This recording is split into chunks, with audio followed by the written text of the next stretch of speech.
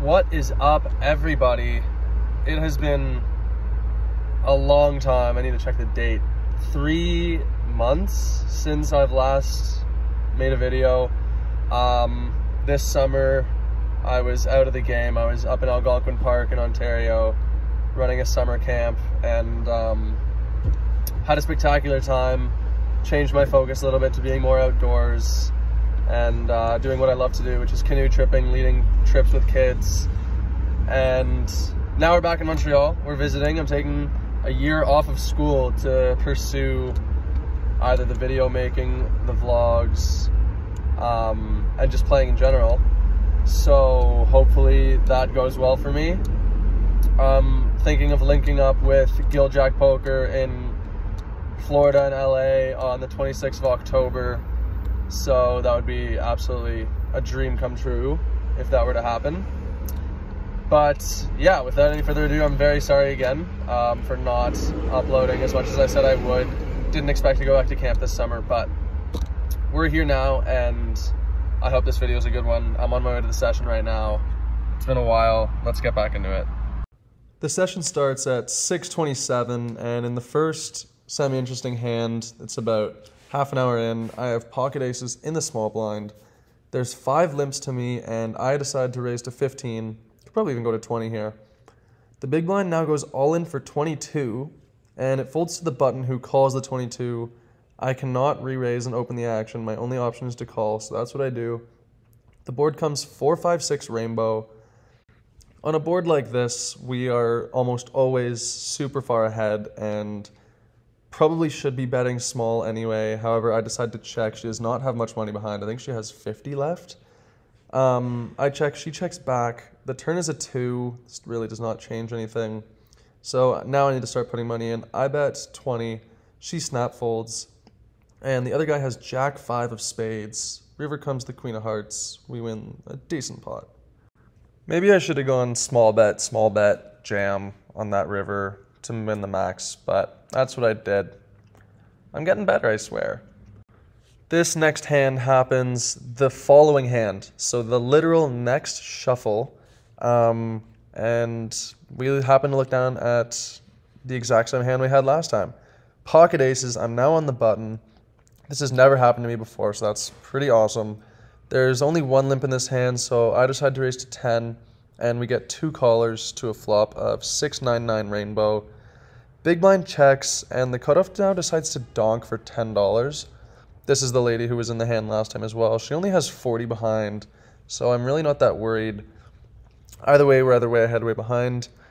I call, and the turn is the eight of diamonds. Kind of scary because the straight completes, but she shouldn't have too many of those anyway.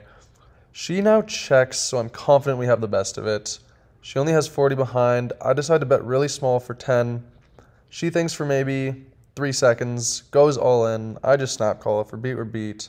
She so shows 6 4 of diamonds, drawing to two outs.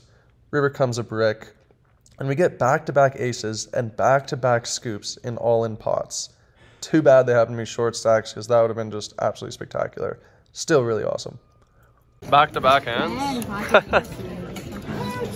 Now, about an hour and a half later, I guess that's what happens. The poker gods give you a back aces back to back, and then do not want to give you another hand for an hour and a half.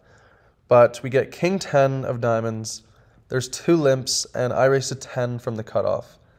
The button now raises to 30, and she just does not have a three bet bluff uh, range. So her hand is definitely better. However, this is me we're talking about. I am not going anywhere with this hand. We go heads up to a gorgeous flop of queen 9-7 with two diamonds. We have a gutter to a straight flush and an over. I check, and she goes all in. I snap call, but it's only $86. She asks if you, we can run it three times. I agree. Let's see. Three times? Sure. Open up.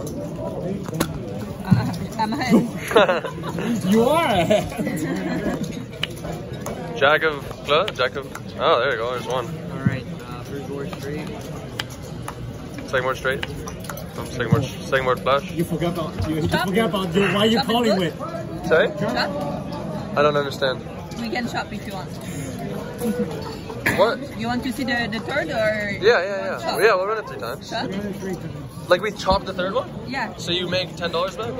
No, oh, no. no, no, no, let, let, just, just run, just run, just run, just run. No, just run, just run. Wow. Oh my god. That's sick. I think I folded for the next three hours after that hand. Nothing really interesting happened, so we're gonna make this a two part video, but racking up here, booked a really good win. Really happy with the session, loads of fun, but not gonna hold you here for too long. Let's just get into the second part.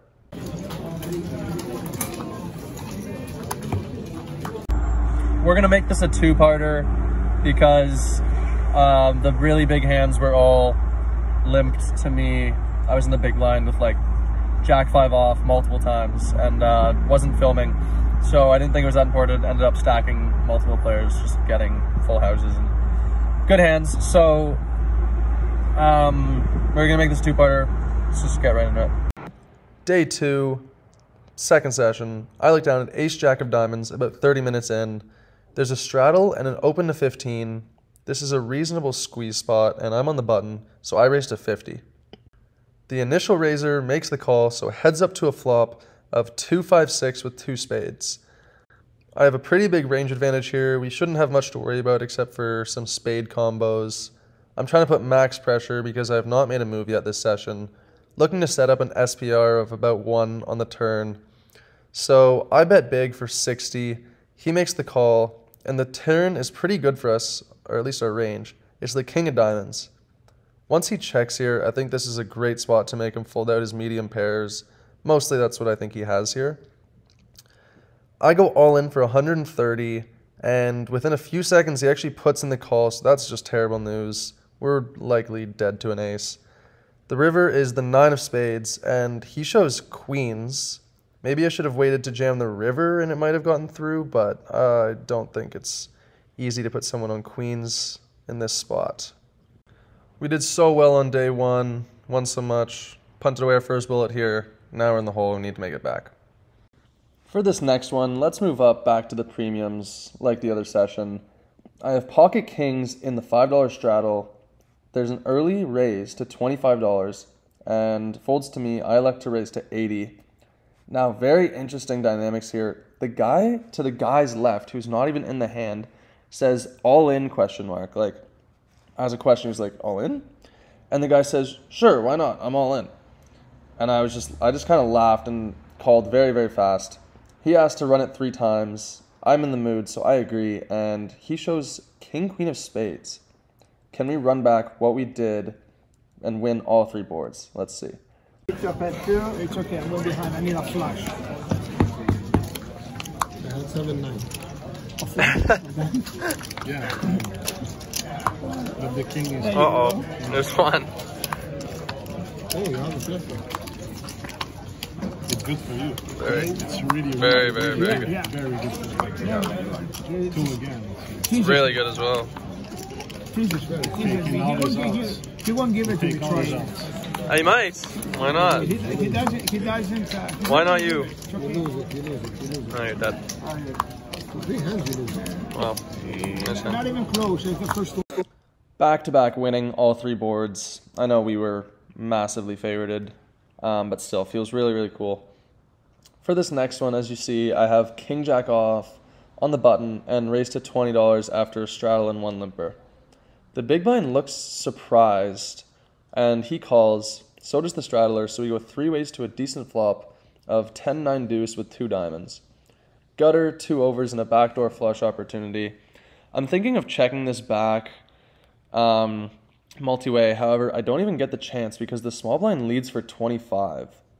The straddler folds, and I contemplate folding, but we have a lot going on. I'm I'm good to peel one here, and he's pretty aggro, so I flat with intentions of bluffing a lot of turns. The turn is the bink queen of spades, giving us the absolute nuts. He continues for another bet, but it's pretty small. It's only 25. This just seems pretty weak, but I have to raise here need to get more money in. He has a lot behind. I raised to 60, which is actually pretty small. And after 10 seconds, he clicks it back to 130. Now, I was pretty surprised to see this, but I know he's never folding for the remaining 70 or 80 that he had in his stack. So I just move all in, and he snaps and he says, I have three queens. I say that's no good, show my hand, and I have no idea how these players are so stink. We needed to fade a board pair on the river, and we do. It's the four of diamonds, complete brick, and we win a massive pot here. I apologize for the way these are being filmed. I know it's uh, already when the cards are revealed, but I just don't think they're going to be interesting hands until the action gets going, so I'm pretty late to film.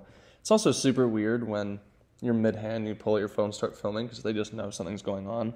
Either it's really strong or really weak, but anyhow, this next one, King Nine off. We are against the exact same player from the last hand, who had the who just called my queen's pre-flop. I am in the five dollar straddle. The guy who we just lost, we just won with queens, opens to ten. There's three callers, and I like to call as well. The flop is pretty great. It comes king ten nine with two hearts. Big blind checks, I check, and the raiser continues for ten. It folds to me, and we have a very easy raise here. I raise to 50, and he now 3-bet jams the flop, and it covers me. I think it was like $220. I tank, but I don't think I can really ever fold to this guy. He's just pretty crazy. At the end of the day, I calls, and he tells us the bad news. He flopped the straight with queen jack off. We need a ton of help, but there's absolutely zero sweat. We see a 9 on the turn. He's drawing absolutely dead, and we scoop another massive one against him. This next one, I actually have no notes on this hand. It's pretty self-explanatory. Um, I raised to 20 from the button. The same guy from the last two hands just open shoves for, I don't even see how much that is, maybe 160. I have pocket kings and I snap call. This is just, let's end his career. Kings again. Kings, I have a six. Uh oh, drop the fork, no worries. Give me a six. Give me a six. Kings are good. We cannot get enough of this guy. This next hand is against the exact same player. This is four hands in a row. Um, I have 8 6 of diamonds, and he's in the straddle. I'm in the cutoff and limped for some reason. The crazy player just goes all in for 74.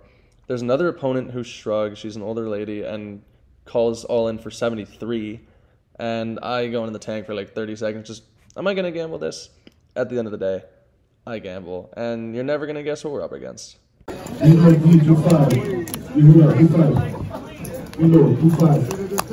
Oh my god, no, I have diamonds too. I'd be smoked.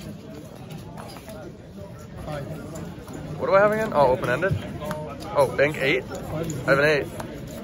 I have a straights. I think. Good for me. Out of pocket. No way.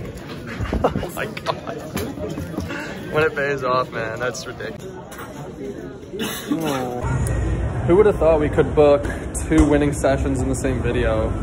Simply not me. I don't actually think that's ever been done before by me. Um, we played, time is it's like nine right now? I don't know. We played for a long time today, probably like six, six and a half hours. Um, in for 400, lost the first bullet pretty fast. And then very swingy session. There was that crazy guy. Lost a mass, like a $800 pot with pocket nines to him. And that was like why we swung so much. But we were up a lot and just got pretty carded at the end. Started slowly losing. Slowly like losing confidence as well. So um, no worries, but still booked a profit in for 400 out for 629 why is that rolling? Oh, it's a push. Idiot Bev. Yeah, so good for us. Again, so good to be back. Thank you guys so much. Hope you enjoyed. Peace. Thanks for watching Dece Poker. Please like and subscribe, and we will see you soon for another video.